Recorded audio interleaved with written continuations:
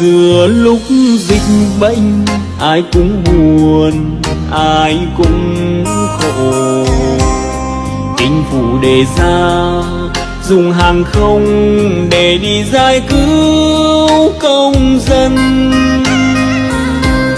Trong ngàn nỗi đau mà làm sao nỡ ân trên xương máu người dân?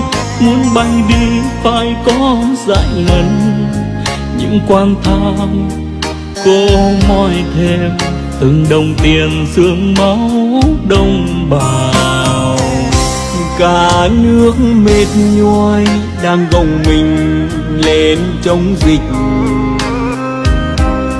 Nhưng họ lại vui, họ lại ăn rồi đem chia chác cho nhau. Để lại nỗi đau còn quằn sâu tiếng tham quan sẽ mãi về sau. Chúng chia nhau tới cả triệu đô. Muốn bay đi phải chung chi đã trở thành cái thói